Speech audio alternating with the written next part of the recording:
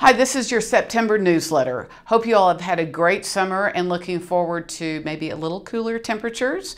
We are going to start the newsletter with August stats.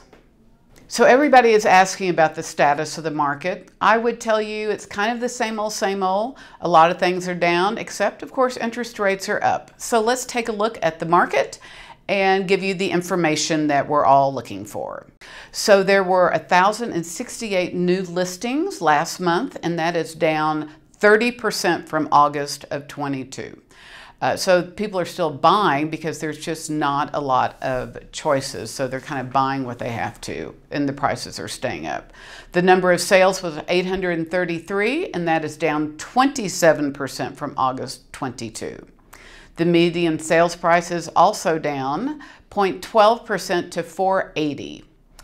Um, and then we're up to 2.7% months of inventory, and that's the same as August of 2022. Everything seems to be down except for, drum roll, of course, the interest rates. Interest rates are about 7.18% right now. That is up 1.63 percentage points from last year or 29% from this time last year. So inflation obviously is the big hot topic. Um, as we all know, inflation used to be at 9% and it's down to 3.2% now. So it seems to be the consensus among many that interest rates might have one more nudge up before the end of the year, but then rates will start coming down in 2024. While we are on the topic of interest rates, let's talk about adjustable rate mortgages. Stop cringing. Uh, the adjustables are really quite good these days because we know that interest rates are going to come down in the next year. So I would highly suggest you look at one. They come in three year and five year flavors.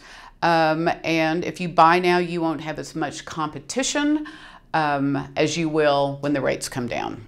So just an idea. So the hot topic last month in the real estate industry was that Monument was wanting Gleneagle to annex, um, which was kind of shocking to read. And so they did have a meeting at the end of August, and it was uh, concluded that the residents of Gleneagle had to request it. And so sounds like it's been shut down for quite a while. On a more serious note, let's talk about flooding.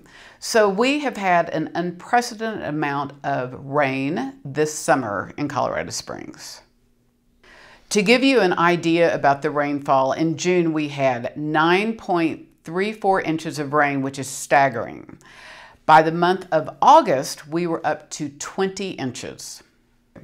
So here's what you need to know. You need to keep an eye on the window wells, obviously in the basement, uh, the carpet to see if it's wet, and certainly the smells that come with uh, dampness.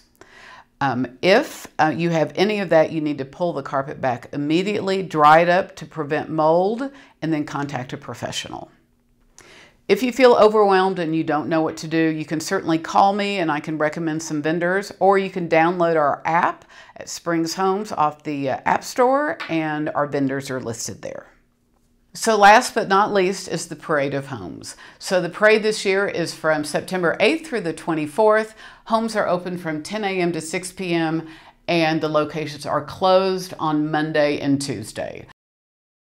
There are 35 homes, 20 locations, and 14 builders. So tickets are available online at springsparade.com.